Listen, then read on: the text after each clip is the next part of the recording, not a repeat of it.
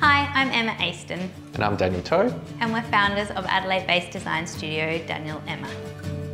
Daniel and I met while studying industrial design at the University of South Australia in 2003.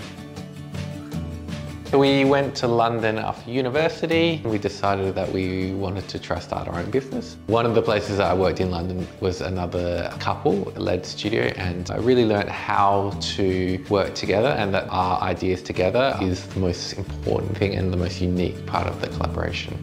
So we first started doing little desk accessories, sculptural little objects for holding items. And then over time we've got bigger and bigger and so now we work a lot in furniture and lighting.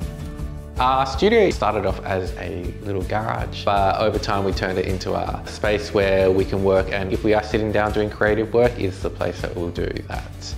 Yellow is the happiest colour on the planet. It makes us both smile and reminds us of sunny days. So that's why we decided to paint our studio door bright yellow.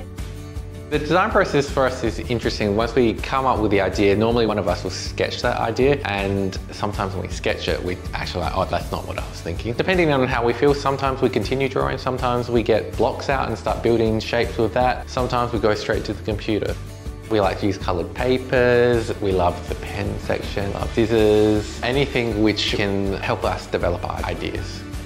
Our project with NGV, Up, Down and All Around, came about after about three years of conversations discussing possibilities within the children's space and activities that we could offer.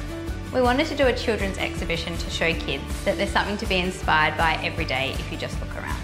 A lot of the things that we came up with, we either like or are somehow nostalgic for us. Sometimes the most creative of ideas come from the most unexpected of places.